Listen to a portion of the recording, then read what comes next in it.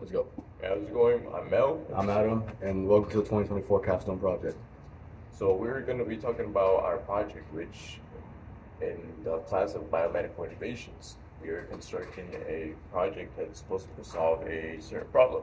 So our project talks about uh, it's about potty training because uh, one of our team, specifically Adam, has a daycare, and so we had a, he's had problems with kids spilling urine within our, the daycare. So we needed to find a little solution for that.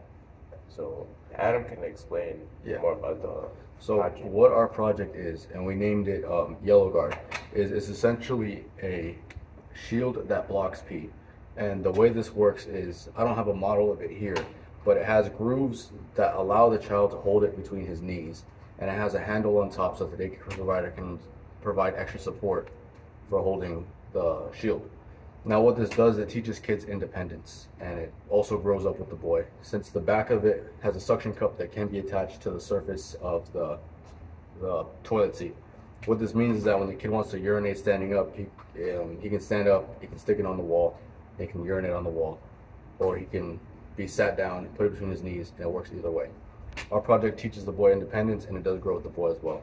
And statistically, after running 16 trials, uh, it is shown that majority of the time there is little to no mess. If any, it's a small wipe away. All right. Thank you for listening to us.